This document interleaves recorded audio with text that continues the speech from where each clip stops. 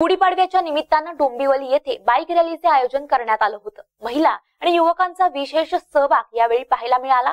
या बाईक रॅलीचे संपूर्ण व्यवस्थापन आणि नेतृत्व डोंबिवली रायडर्स क्लब तर्फे करण्यात आलं होतं. गुढीपाडव्याच्या निमित्तानं डोंबिवली येथे निघणारी स्वागत यात्रा यंदा प्रथमच वेगळ्या स्वरूपात पाहायला मिळाली. वर्षानुवर्ष वाढत असलेल्या यात्रेचा उत्साह आणि त्यामुळे होणारी वाहतुकीची कोंडी लक्षात घेता यावर्षी श्री गणेश मंदिर संस्थानाच्या विश्वस्त मंडळाने गुढीपाडव्यानिमित्त नववर्षाच्या पूर्वसंध्येला म्हणजेच शुक्रवारी पाच एप्रिलला बाईक रॅली काढायचे ठरवलं. दरवर्षीप्रमाणे याही वर्षी मोटारसायकल स्वारांनी स्वागत यात्रेत सहभाग घेतला. पारंपरिक वेशभूषा आणि फेटे परिधान केलेल्या महिलांचा विशेष सहभाग यात पाहायला मिळाला. आधुनिक जगात वेगाने बदलत चाललेली आजची तरुण पिढी आपली संस्कृती आणि परंपरा ही तितक्याच उत्साहाने कायम ठेवत आहे. याचे उत्तम असं उदाहरण या रॅलीत पाहायला मिळालं. चैत्र शुद्ध प्रतिपदेला अर्थात वसंत ऋतूच्या पहिल्या दिवशी संपूर्ण महाराष्ट्रात गुढीपाडव्याचा सण साजरा केला जातो. आणि या दिवशी महाराष्ट्राच्या प्रत्येक घराच्या बाहेर उभारण्यात येणारी गुढी हे विजय आणि समृद्धीचे प्रतीक मानले जाते.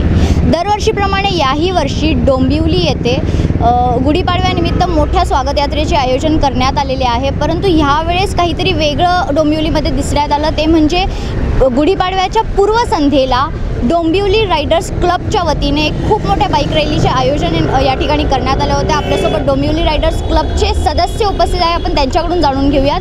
एक खूप आगळा वेगळा उपक्रम आज डोंबिवलीमध्ये करण्यात आला आहे काय सांगाल याबद्दल? यावेळीला प्रथमच आम्ही बाईक रॅली गुढीपाडव्याच्या स्वागत यात्रेमध्ये न अरेंज करता त्याच्या आदल्या दिवशी आम्ही बाईक रॅली आयोजित केली होती. आणि ह्या बाईक रॅलीला सगळ्यात महत्त्वाची गोष्ट म्हणजे बायकांचा एवढा चांगला प्रतिसाद आला आहे की प्रत्येक लेडीज नऊवारी साडी नेसून फेटे बांधून आलेली होती. आणि त्यांच्यामध्ये कॉम्पिटिशन ही होती की माझा फेटा चांगला का तुझा फेटा? एवढा त्यांचा उत्साह दिसून येत होता. आणि अख्खी rally throughout the Dombivli east to west सगळीकडे पार करण्यात आली. कुठेही कुठल्याही प्रकारचं ट्राफिक जमलेलं नव्हतं का कुठल्याही प्रकारची कॅज्युअलिटी झाली नाही. रॅली स्टार्ट टू एंड एका प्रॉपर स्पीडमध्ये चालत होती. काही सामाजिक विषयांवर जनजागृतीही यावेळेस करण्यात आली त्याबद्दल काय म्हणाल? आपल्याकडे देशामध्ये सध्या जे काही दहशतवादी हल्ले चालू आहेत त्या हल्ल्यांवरतीच आधारित आणि आपले बरेच सैनिक शहीद झाले आहेत त्यांच्यावरती एक श्रद्धांजली म्हणून काल संध्याकाळी म्हणजे चार तारखेला इकडेच आपल्या कॅप्टन विनयकुमार सच्चान स्मारकजवळ सगळ्या डोंबिवलीकरांनी एकत्रित येऊन एक पंटी सैन्यासाठी हा कार्यक्रम आयोजित केला होता. तर त्यासाठी पण भरपूर लोकांनी सहभाग घेऊन पंट्या लावलेल्या होत्या. तसंच बऱ्याच डोंबिवलीच्या वेगवेगळ्या भागातसुद्धा लोकांनी स्वतःहून आपापल्या सोसायटी आणि आपापल्या आवारामध्ये पंट्यांचे कार्यक्रम घेऊन सगळ्यांनी अख्ख्या डोंबिवलीने सगळ्यांना प्रतिसाद चांगला दिला. एक नवीन संदेश तुम्ही दिला आहे की आजची नवीन पिढी जी आहे युवा पिढी जी आहे ही फक्त या- आधुनिकतेकडेच नाही आहे तर परंपराही ही पार पडते. ह्या सगळ्या गोष्टींबद्दल तुम्ही काय सांगता अर्थात डोंबिवली म्हटल्यावरती परंपरा तर आलीच पाहिजे.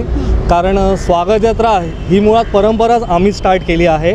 डोंबिवलीतनं स्वागतयात्रेची सुरुवात झाली होती आणि आज ठाणे विलेपार्ले गिरगाव आणि पुणे वगैरे सगळीकडे आता स्वागतयात्रा चालू होतात. पण आम्ही प्राऊडली अजूनही बोलू शकतो की डोंबिवलीमधून स्वागत यात्रा स्टार्ट झाली होती. आणि नुसतं स्वागत यात्राच नव्हे तर डोंबिवली ही प्रत्येक बाबतीत पुढे आहे. पारंपरिक म्हणा किंवा कुठल्याही प्रकारचं कल्चरल ॲक्टिव्हिटी म्हणा डोंबिवलीमध्ये सतत काही ना काही प्रोग्राम चालूच असतात. गुढीपाडव्याच्या आधी संभाजी महाराज बलिदान प्र बलिदान दिवस पण साजरा केला जातो. तसंच बऱ्याच वेगवेगळ्या संस्था आपापल्या परीने काही सामाजिक काही पारंपरिक अशा पद्धतीचे प्र प्रोग्राम चालूच असतात. खूप खूप धन्यवाद. एक नवीन उपक्रम एक नवीन क्रांती डोंबिवली रायडर्स क्लबच्या वतीने आज इथे अ, कर करण्यात आली किंवा त्याची सुरुवात करण्यात आली आहे. ही नवीन क्रांती नक्कीच बाकी युवकांनाही खूप काही देऊन जाईल ही इच्छा मी ते व्यक्त करतो. नितीन शर्मासोबत मी मेघना Ghag M K N news